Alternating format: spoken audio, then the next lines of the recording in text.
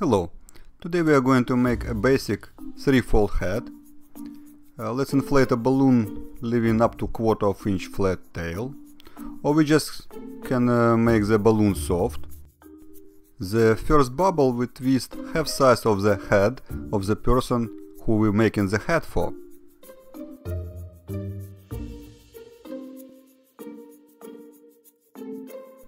We can use inflated balloon to measure the size of the head by making loop around the person head. Once you measure the person head, you can easily find half of the loop of the balloon and then twist the first bubble at that point. Twist the second bubble of the same size as the first bubble. Lock both ends of the chain of the first two bubbles in one lock twist. Twist the third bubble of any size just make sure to make the fourth about 3 inch bubble at the very end of the balloon. Lock the free end of the third bubble between the first and the second bubbles. That's it. Congratulations, you have made the basic three-fold head.